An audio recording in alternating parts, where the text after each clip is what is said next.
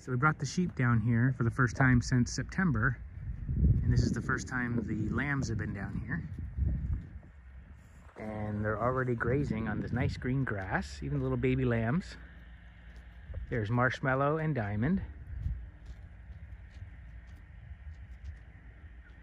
There's Dusty. And little Valentine is being sassy as ever and just doing what he wants, but now he's grazing.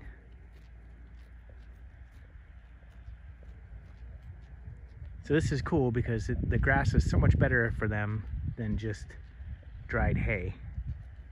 And they actually enjoy eating grass more than they do dried hay.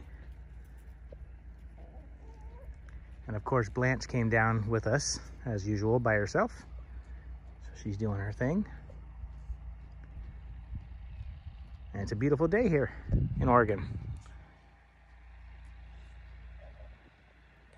Happy Wednesday, everybody.